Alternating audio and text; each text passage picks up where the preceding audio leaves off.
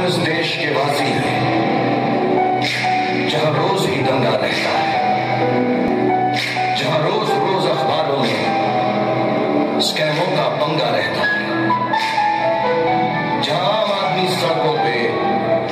आधा सा नंगा रहता है। इस हाल में भी, इस दौर में भी, हर दिल में